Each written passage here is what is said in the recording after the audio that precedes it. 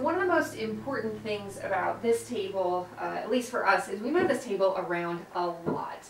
Uh, so what we did is we put it on wheels so that one person can generally pretty easily just give it a quick movement.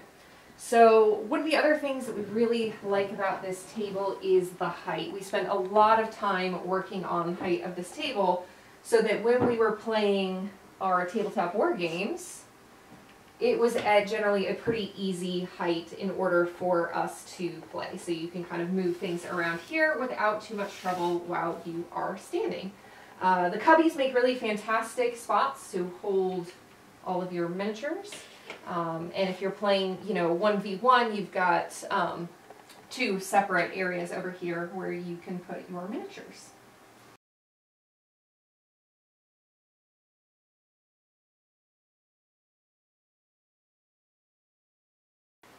And so we'll have spaces for each of the players. We have our vault, and inside of our vault currently we have our TV box, um, although this does come out as well. And then we have a neoprene mat that we got in a three foot by six foot configuration. So we do have a neoprene mat that goes across the bottom. So you can play all kinds of games here. Um, if you want to hold it for later, you can just put the leaves back in. So then at each player station, we have a fold out here.